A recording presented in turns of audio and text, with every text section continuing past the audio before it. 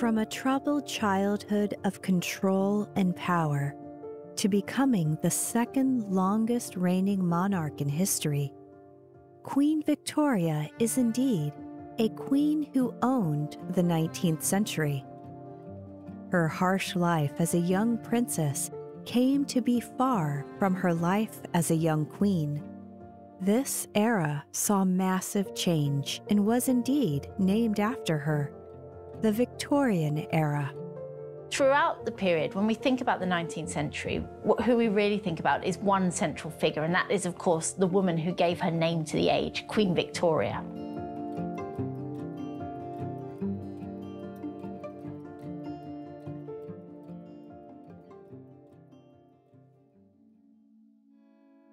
The 19th century is one of those centuries of enormous change. Britain in 1800 was a hugely different place to Britain in 1900. Britain had undergone the Industrial Revolution, so it had gone from a still largely farming economy to one that was manufacturing on an enormous scale. Cities had grown enormously, particularly big industrial centres. It was also a period that really saw the peak of the British Empire. It was said by the end of Victoria's reign that the sun never set on the British Empire, and that was largely true. If you look at maps of the world in Victoria's reign, large parts of it are coloured pink to show the British Empire. So it was a period of huge change, but it was also a period of hardship, of difficulty. Although there were social changes made in the period. For example, it became compulsory for children to attend school. Checks were put on child labour, for example. Women's rights increased to some extent in the Victorian period, particularly in relation to the custody of children and the ownership of their own property. But in general, if you were poor, it was a hard time to live throughout the 19th century. There was very little poor relief. If you were destitute, you went to the workhouse. And of course, we all, when we think about the workhouse, we think about Oliver Twist being fed gruel. But actually, it's, it was a largely unpleasant experience. People would do almost anything to avoid having to go to the workhouse. And it really was when you're at your absolute lowest. Mortality rates were very, very high, particularly among children. Um, death and disease was rife again in the cities. It was a time of great innovation. It was a time of great learning. You know, this is where we have Charles Darwin. We have some great Victorian novelists. We have Charles Dickens. We have William Thackeray. But it also is a time of great hardship. But throughout the period, when we think about the 19th century, who we really think about is one central figure, and that is, of course, the woman who gave her name to the age, Queen Victoria. Businessmen saw how these inventions could be used to increase trade. All over the country, they built factories fitted up with the new machinery. More and more people were needed to work in the factories. Rapid increase in population and the growth of trade made a new postal system necessary.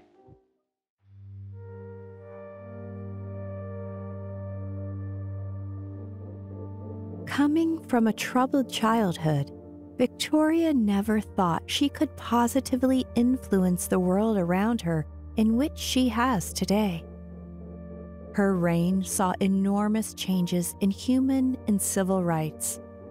It is a period in which many events, ranging from child labor to slavery, were completely demolished. Queen Victoria Although she was born a princess and a likely successor to the throne, had a very sad and, as she described it, melancholy childhood. She was born to Edward, Duke of Kent, the fourth son of George III, and his wife, Victoire of Saxe-Coburg. And before she was one year old, her father, who had been very, very fond of his baby daughter, died, leaving Victoria fatherless. She was to all intents and purposes, an only child. Her mother was a widow, but her older children were much, much older than Victoria. And Victoria also wasn't able to mix freely with other children. Throughout her childhood, Victoria lived in Kensington Palace. She described her childhood as melancholy Her father had passed away just before she turned one.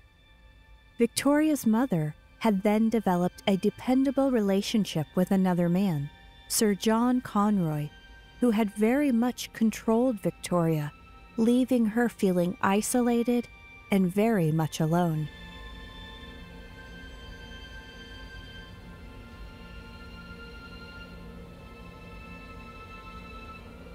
Victoria's mother, the Duchess of Kent, very much fell under the influence of Sir John Conroy, who had been an equerry to the Duke of Kent and very much guided the household. He was in charge of Victoria's childhood household. The Duchess of Kent adored him. There were rumours that they were lovers, probably unfounded, but certainly she had a very intense and dependent relationship with Conroy. Victoria despised John Conroy. He was often quite aggressive with her. He really didn't stand on ceremony. In fact, she later marveled at why he had dared so much. And actually, it appears that he believed that his own wife was an illegitimate daughter of the Duke of Kent and thus Victoria's half sister. And that's why he felt he could take such control in the household. But Victoria absolutely loathed him, and by association, her mother. And the Duchess and Conroy very much wanted to control Victoria.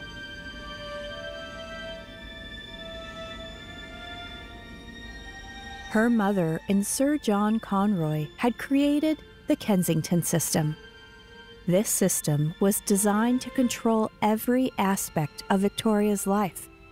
It was a strict set of rules that made sure she was kept in the hands of her mother and Conroy. Conroy's intention was to weaken Victoria to the point that she would become dependent on him so that he held the real power in the palace. He used Victoria's mother as a guiding hand to this, and she fell very much under his influence. Sir John Conroy was a British Army officer who served to Victoria's mother and her young daughter, Princess Victoria. The young Victoria was never allowed to be away from her mother, her tutor, or her governess. These were Baroness Lehzen and the Duchess of Northumberland. She fell very much under the trap of the Kensington system, which isolated her from mixing with other children and had completely taken over her childhood.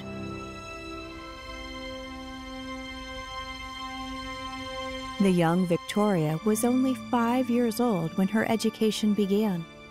She was third in line to the throne at the time, and so it was absolutely vital that she was well educated.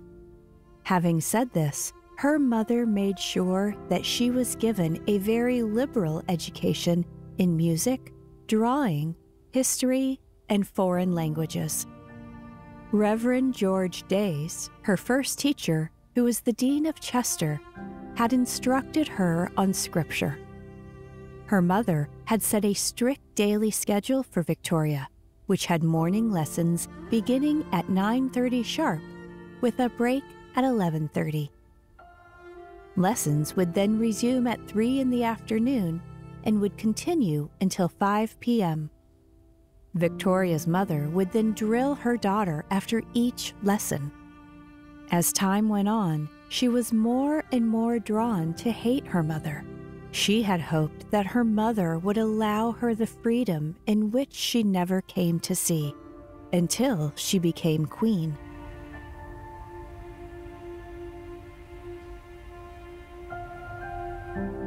Victoria's uncle, William IV, became king in June 1830 However, he did not have any legitimate children who could inherit the throne on his death. At 64, he was then the oldest person to ascend the throne. Prince Edward, his next younger brother, had died in 1820, and so the next person in line to the throne was Edward's 11 year old daughter, Princess Victoria. Therefore, a law had to be made in order to provide for the government in the case that Victoria was to be made queen whilst under the age of 18. This is known as the Regency Act 1830, which was a law designed to cater for Victoria in the event in which she was still a minor. Her mother would then take over until Victoria was legally allowed to be queen. Conroy and her mother wanted this regency.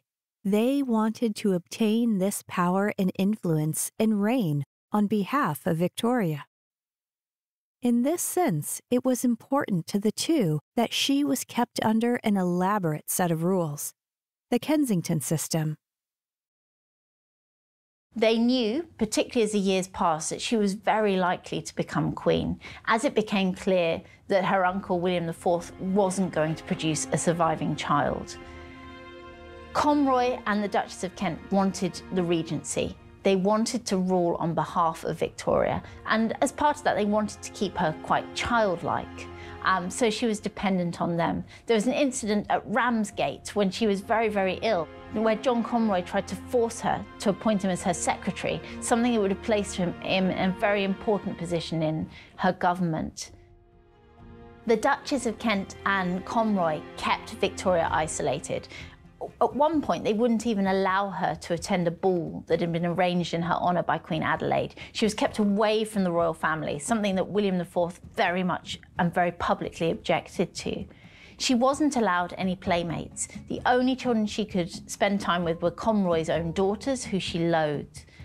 And she was also given a very strict education the Kensington system, which was designed to raise a future queen, but also to keep her young and to keep her childlike. We know that Victoria was actually forced to keep an account of her own behaviour. She had a conduct book where she would write how she behaved, often saying naughty, sometimes very naughty, and underlining it. One, one occasion she writes very, very horribly naughty, um, which suggested not been a good day. It was intended to ensure that she was never alone. If she wanted to walk downstairs, she had to hold somebody's hand. She slept with her mother. She was watched constantly, largely by people who were favourable to Sir John Conroy and reporting back on her. It was not a happy childhood, but it's a very strict, very cloying system and one that didn't have the desired effect because rather than keeping, creating a childlike, dependent queen, it actually created a woman who is determined to be independent.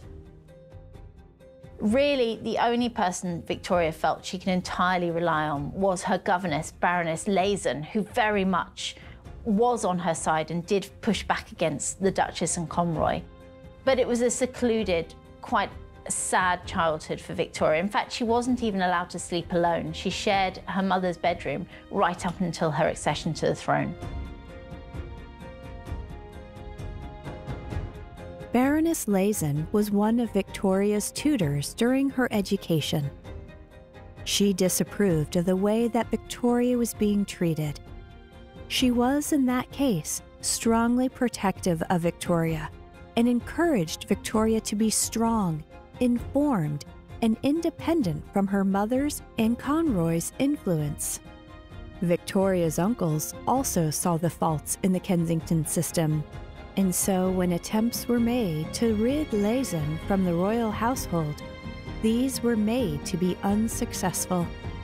Victoria was seen to be treated very unfairly, and this had taken a toll on her tutor, who wanted to see Victoria happy. Swaying away from her mother's demands of a very liberal education, Lehzen had started educating Victoria in decorum reading, and writing. She also studied Greek, Latin, Italian, French, and German. Lehzen had educated the young Victoria in the thought of her becoming queen. She was dedicated to see Victoria become queen and did her utmost best to make her intelligent and strong minded. Lehzen, therefore, was a major influence on Victoria's character giving her the strength of will to survive her troubled childhood and life as a young queen. She was the only person throughout her childhood who had Victoria's best interests at heart. Victoria had kept a journal from the age of 13 up until her death in 1901. We are able to see a glimpse into her thoughts and feelings because of this journal. Victoria wrote about Lehzen, the most affectionate, devoted, attached, and disinterested friend I have, suggesting that Lehzen indeed was someone she could rely on. On William IV's death in 1837, Princess Victoria became queen at the age of 18. A regency was therefore avoided. Her extremely poor childhood was more than enough for the now Queen Victoria to declare that Conroy be banned from the court and that her mother lived elsewhere. When finding out that she was now queen, she writes in her journal expressing just how nervous she is, saying, I always felt nervous, and Lord M. Melbourne said that no one ever got over that, and that there were very few who didn't feel the same nervousness before making a speech, even if you had done it a hundred times.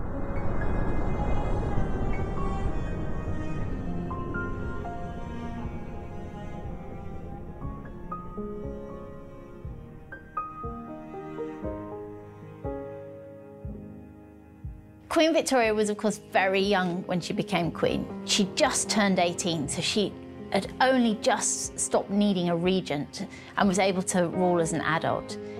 As a teenage queen, her first emotion was one of freedom. She was pleased to rid herself of her mother and of Sir John Conroy, and she very much set out to enjoy herself as queen. The first year or so of her reign, she was out dancing into the night. She enjoyed herself immensely. She certainly was in no rush to get married. But she also found the task of governing quite daunting because she'd gone from being effectively a schoolgirl, kept closeted away. She had barely been to the royal court to suddenly being the monarch, being the Queen of Britain. She had to see her ministers, she had to attend the Privy Council. It was a huge learning curve for an 18 year old. Um, she certainly felt unprepared, she certainly felt nervous.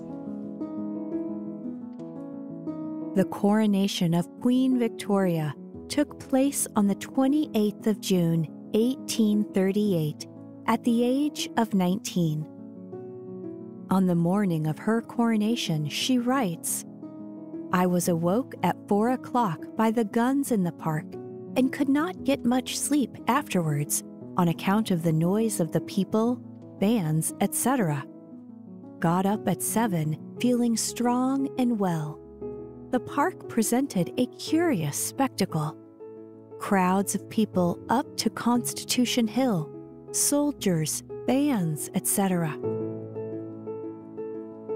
Although it was a big day for the new queen, it was a ceremony that was far from perfect. The ceremony had suffered from lack of rehearsal and only lasted five hours. This led to her coronation being well underprepared. Victoria's coronation was intended to be a glorious state occasion, although it didn't always go as well as it could have done. She was very, very nervous and, in fact, recorded in her journal that she'd been woken up by a gun salute to her. She then readied herself for her coronation, and I mean, it must have been an absolute spectacle as she set out from Buckingham Palace. The crowds were enormous and cheering. You know, she was very, very popular when she first came to the throne. People had actually climbed trees so they could get a better look at her. In the Abbey, she was very, very nervous. She hadn't really rehearsed. In fact, no one had really rehearsed, and no one seemed to know exactly what to do. When she turned to people for advice, um, people couldn't really tell her what to do. But she made the best of it. But there were some mishaps. Her coronation ring was forced onto the wrong finger, and after the ceremony, she actually had to soak her hand in ice for half an hour to try and get it off. When she received the homage of the lords, And she was obviously sitting on her throne up some stairs, and actually, Lord Rolle, elderly Lord Rolle, tripped and fell, rolling all the way down the steps. But Victoria really won approval when instead of just sitting there and waiting for him to pick herself up, she actually got up from her seat, walked down so that he could kiss her hand without having to attempt the stairs again. This tells us a lot about Victoria's character despite the childhood she had had. She wanted to be the kind hearted woman that she never had as a child. Victoria writes about her coronation feeling proud. She was extremely blown away by the support around her on this big day. It was a fine day, and the crowds of people exceeded what I have ever seen. Many as there were the day I went to the city, it was nothing nothing to the multitudes, the millions of my loyal subjects who were assembled in every spot to witness the procession. It was an overwhelming occasion, but she acquitted herself incredibly well. She was clearly very, very stressed. She had a headache when she returned home, and actually, the first thing she did when she returned home was bathe her dog. Victoria's relationship with her mother changed as soon as she became queen. Until that point, she had been subject to her mother, and although she railed against it and did attempt to free herself to some extent, she was forced to share a room with her mother. She was forced largely to do what her mother said. Um, she'd even been forced to write to the king to turn down his offer of her own household and her own allowance because her mother didn't want it. As soon as Victoria became queen, the tables very much turned. The Duchess of Kent was no longer the mistress of the household. Victoria, the Queen, was. And one of her first actions as Queen was to order her bed to be removed from her mother's chamber. After that, she slept alone.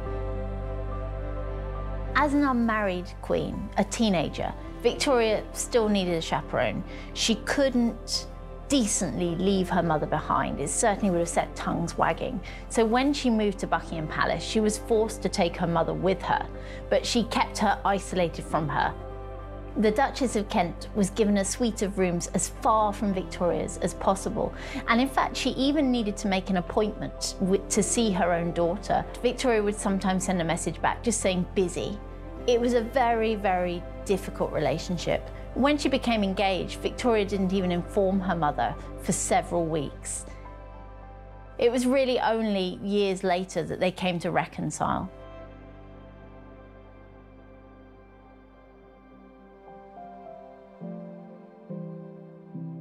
Queen Victoria was influenced by two men in the early part of her reign, the first of which was Lord Melbourne. Lord Melbourne was Prime Minister when Victoria became Queen. Melbourne was 58 and a widower. His only child had sadly died, and he therefore treated Victoria like his own daughter. Queen Victoria grew to be very fond of Melbourne and became dependent on him for political advice. Melbourne wanted to protect Victoria from the harsh realities of British life. She grew to be quite close to Melbourne, and Melbourne is said to have spent six hours a day with the Queen. She kept an account of how she felt about Melbourne, once writing, He is such an honest, good, kind hearted man and is my friend. I know it. It is also said that she loved listening to him talk. Such stories of knowledge, such a wonderful memory. He knows about everybody and everything, who they were and what they did. He has such a kind and agreeable manner. He does me the world of good. However, this close relationship raised alarms in the public and she would get shouted at as Mrs. Melbourne. A rumor had started that Victoria was considering marrying Lord Melbourne. Melbourne was a man who Victoria could rely on, and therefore saw him as a father figure she wished she had had many years prior.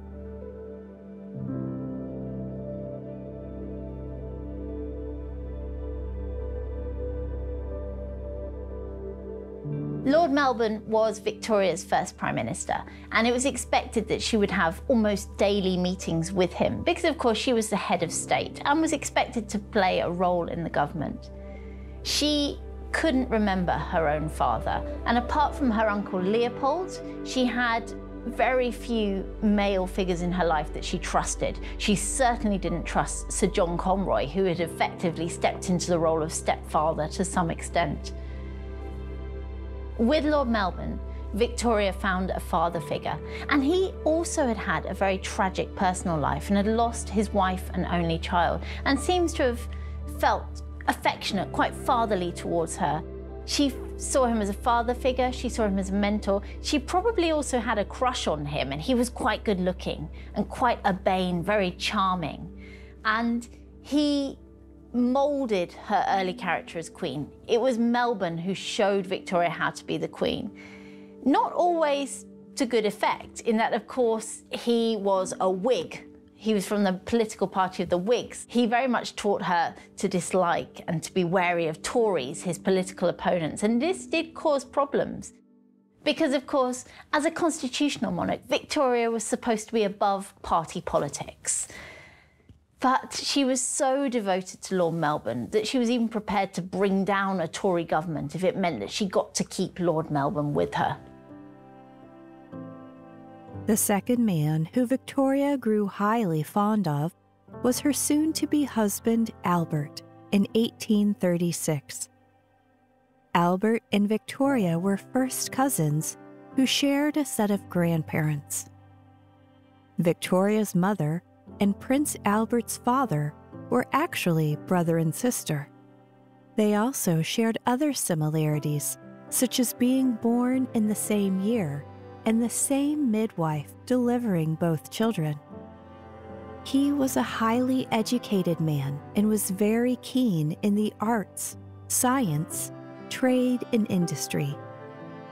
Albert and Victoria first met at Victoria's 17th birthday in April 1836, before she became queen. They were introduced by their uncle Leopold I, King of the Belgians. Victoria writes in her journal about how she instantly fell in love. He is extremely handsome. His hair is about the same color as mine. His eyes are large and blue, and he has a beautiful nose and a very sweet mouth with fine teeth.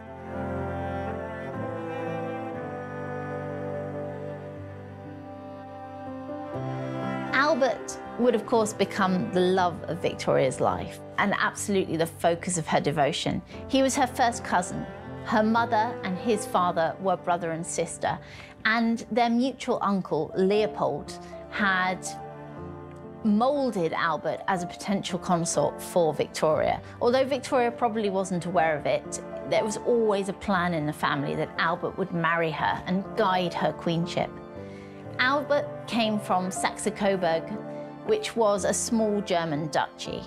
He had a troubled family life. His father and mother were completely ill-suited. Both took lovers, and his father had then divorced his mother and um, taken custody of the son, so Albert was banned from seeing his mother. So he'd had a very troubled family life. He first met Victoria when they were both teenagers, before she became queen. He came to her birthday ball. And actually, she wasn't that impressed with him. Her journal talks about the arrival of cousin Albert and his brother Ernest, but actually, he seems to have been quite a sickly character, not much fun. He actually retired from the ball early because he felt unwell. So he really didn't make much impression on Victoria.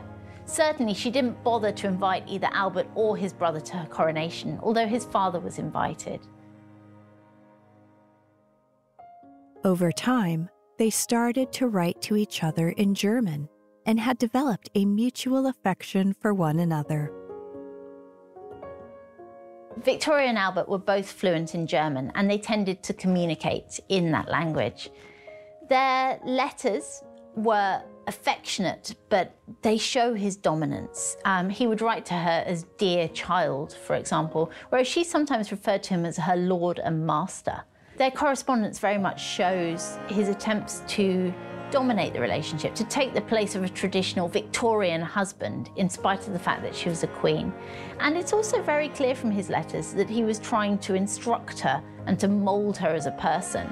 Albert often found fault with Victoria's character, and she would normally write in a more submissive tone really, you know, say apologizing for her faults, apologizing if she, she'd been angry, and really asking for instruction. Her strong feelings for Albert meant that she knew she wanted to spend her life with him. But tradition dictated that no one could propose to a reigning monarch. By this time, Victoria was now queen, which meant that Albert wasn't allowed to propose to Victoria. Victoria had then decided to propose to Albert, in which the immediate response was a very happy yes. She writes ecstatically in her journal Never, never spent such an evening.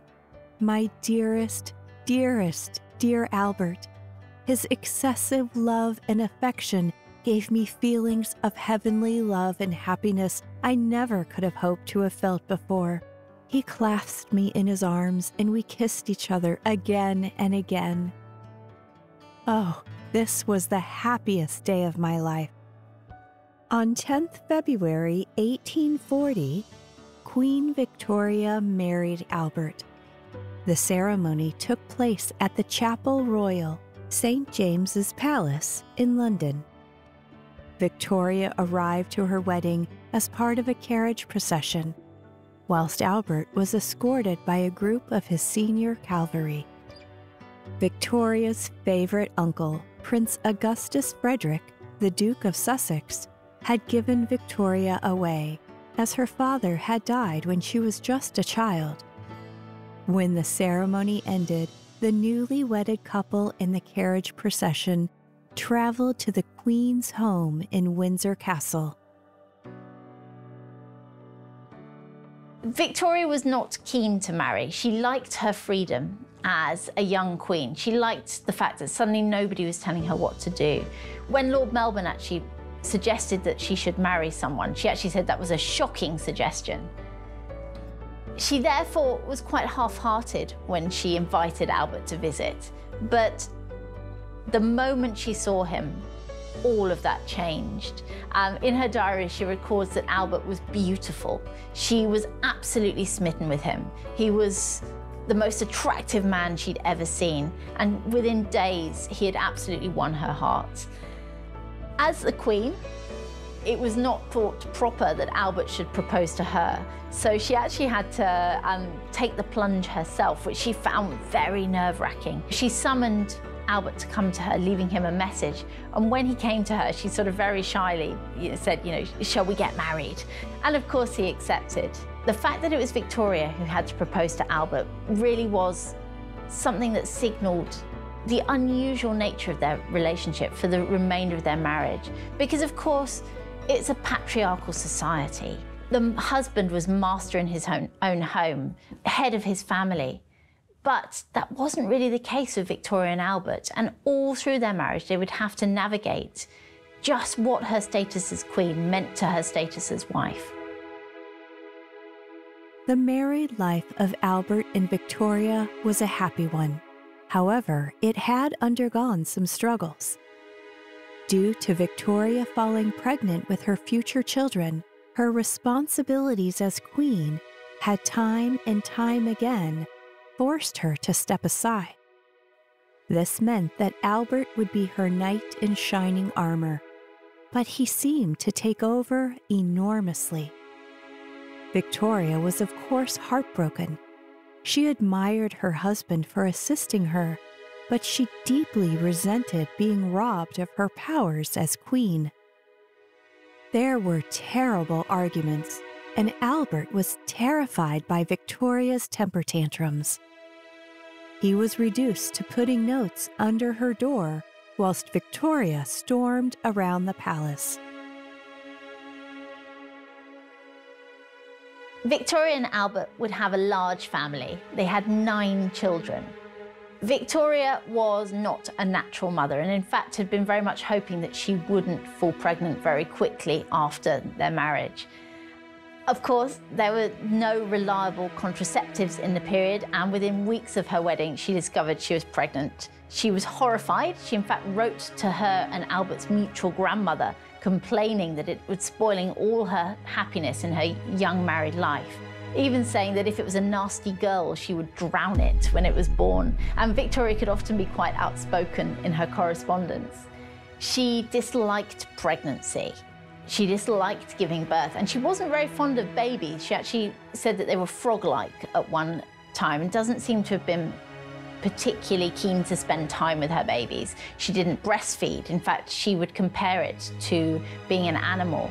Later, when her own daughter, Princess Alice, breastfed her own children, Victoria actually named a cow in the royal dairy Princess Alice after her daughter.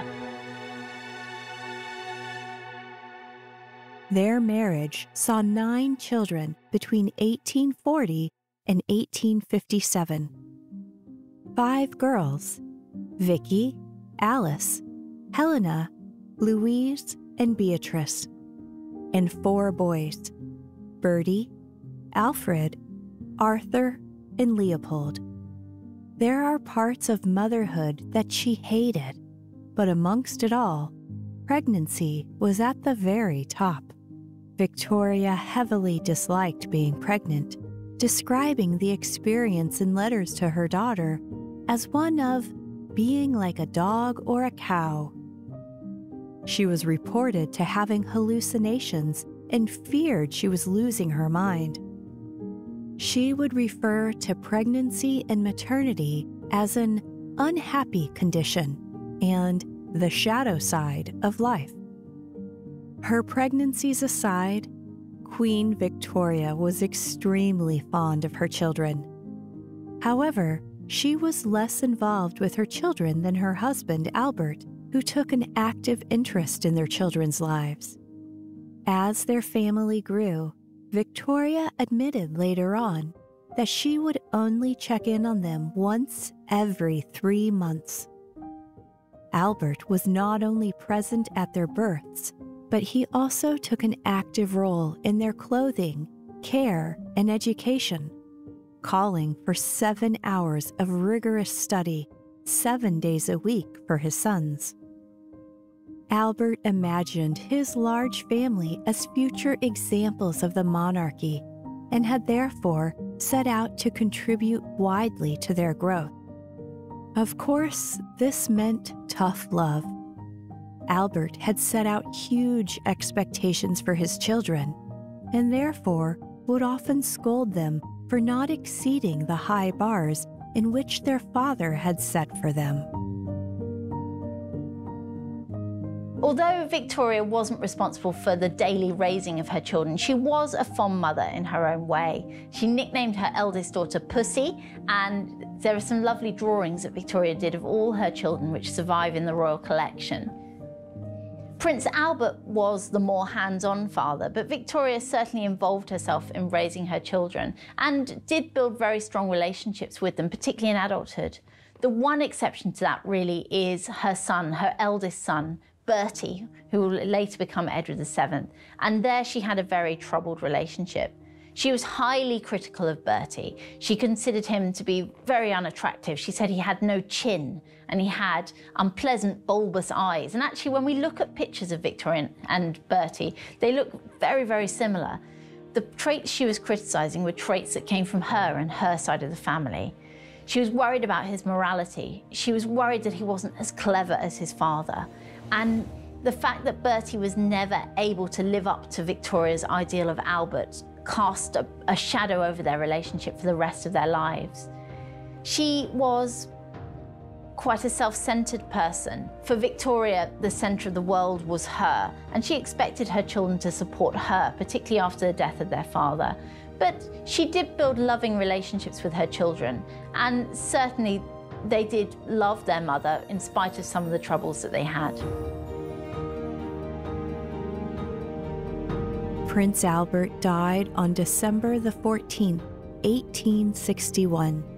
Researchers say his death was due to a stomach disease.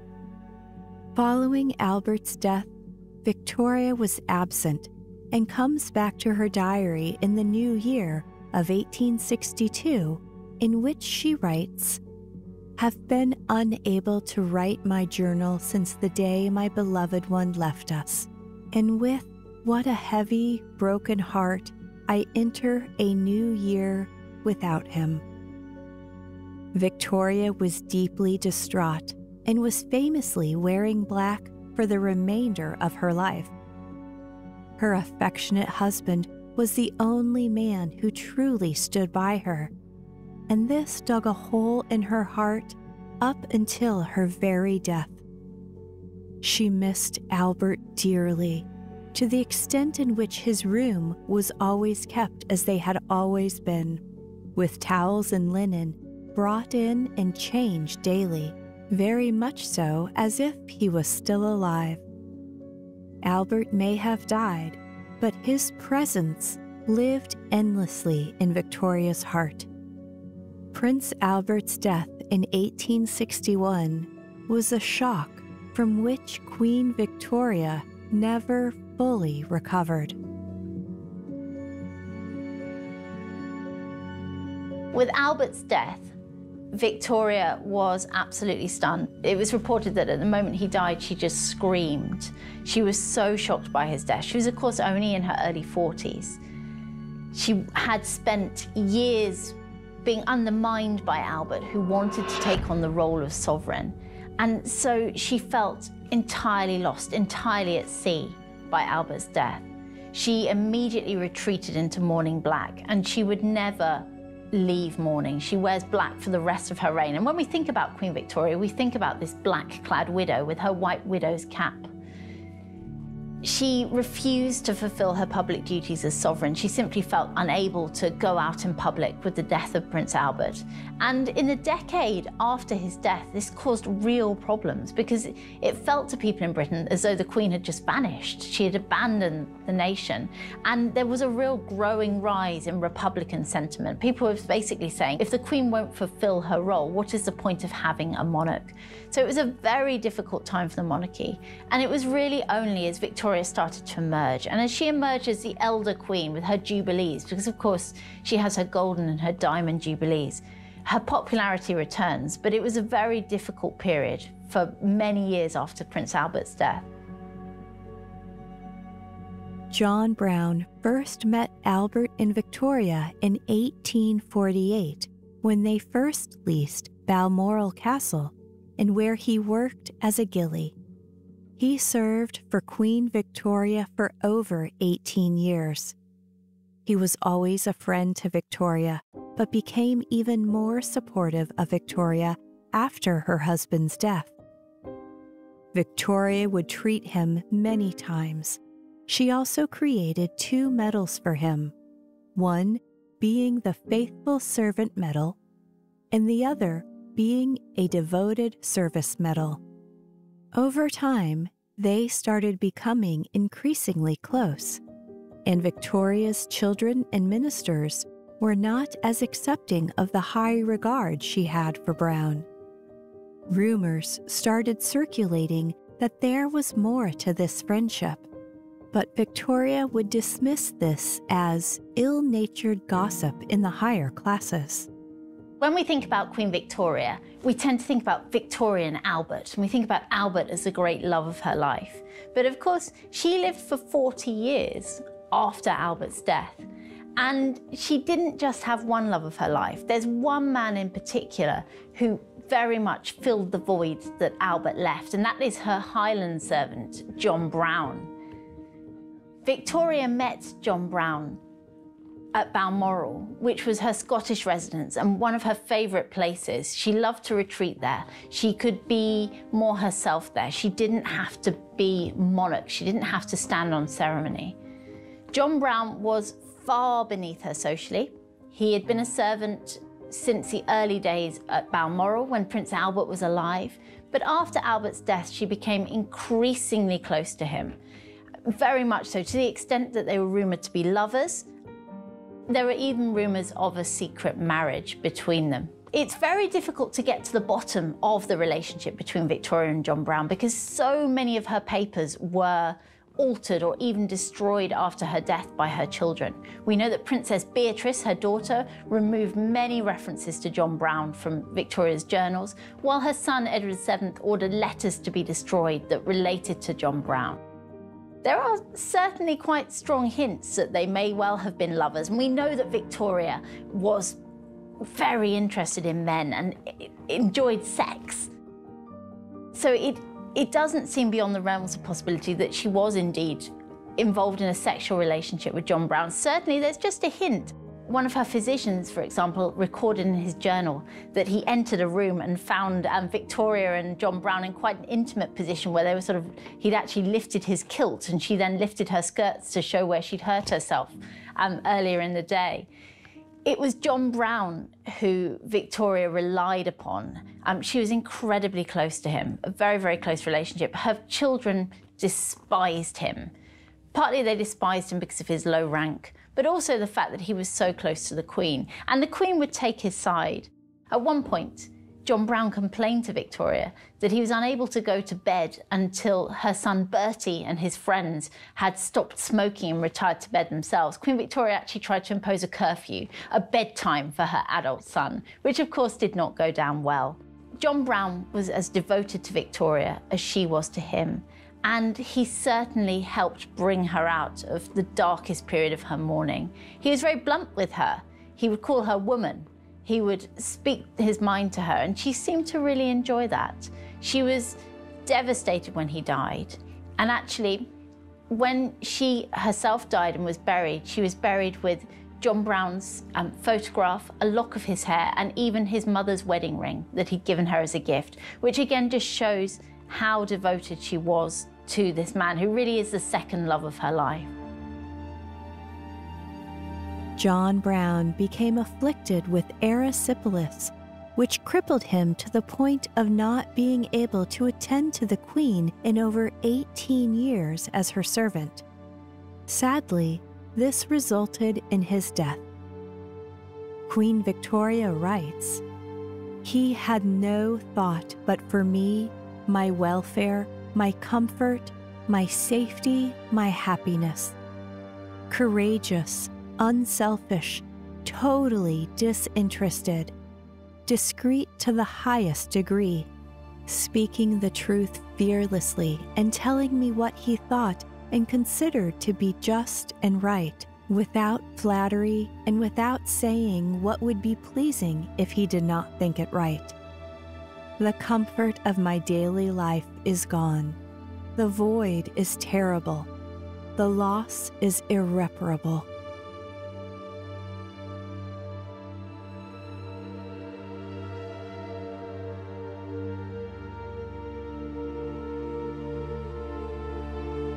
Victoria's long reign of 63 years, of course, saw conflicts. And when we think about war in the Victorian age, we primarily think about the Crimean War of the 1850s, and then the Boer War, which was the last conflict of the 19th century.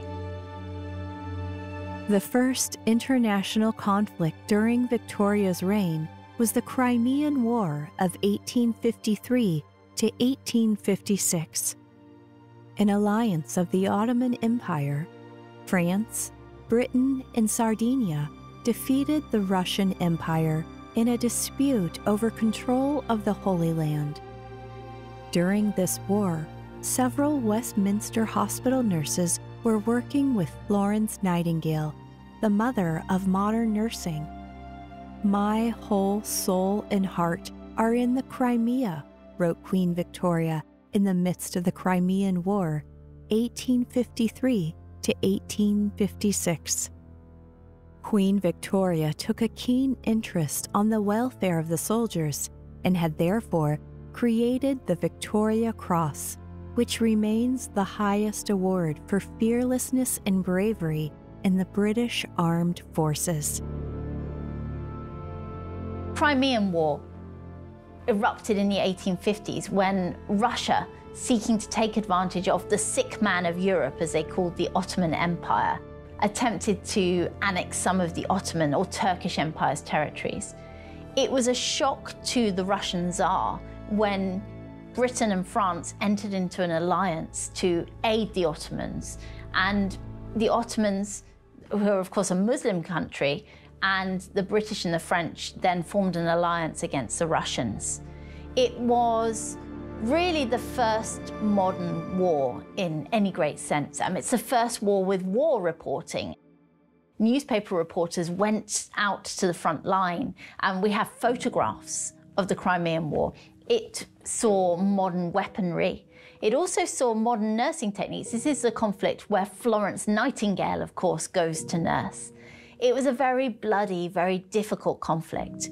Britain and their allies were the victors, and Queen Victoria, although obviously distant from the fighting, was very much involved. She'd been an opponent to going to war in the first place, but once war had broken out, she was very enthusiastic. She writes in her journals of seeing the troops. She was involved in the creation of the Victoria Cross, which was first awarded in 1857 to Crimean War veterans, and which was, of course, and is still awarded today for great valour. Um, the medals themselves were struck from the metal of a captured cannon from the Crimean War, and Victoria would give the medals herself attending the ceremony, and she found that very, very moving.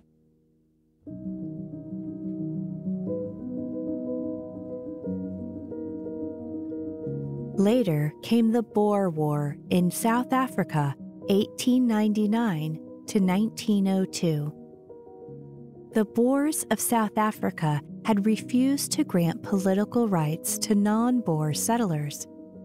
Most of these people were British. This resulted in a conflict fought between the British Empire and two Boer republicans from 1899 to 1902. Queen Victoria wanted to applaud the bravery of soldiers in the Boer War. She therefore made eight scarves in green Berlin wool. These scarves were to be allocated to men who were voted by their comrades as most brave. We know such a lot about Queen Victoria because she very diligently kept a journal right up from her childhood until just before her death. And although it was quite heavily edited by her daughter Beatrice, it's a really great way of seeing inside her head, seeing what motivated her, what she thought, and also, of course, her correspondence and records that other people kept of Victoria. She is a fascinating character. She'd obviously had a very troubled childhood, which was coupled with the fact that she learned quite early on that she was actually likely to become Queen of Britain because no one officially told her. She actually discovered while looking in a history book that actually she was very likely to be the next, next monarch of Britain. So Victoria's childhood was, was troubled, and she then, of course, suddenly became queen and set about enjoying herself.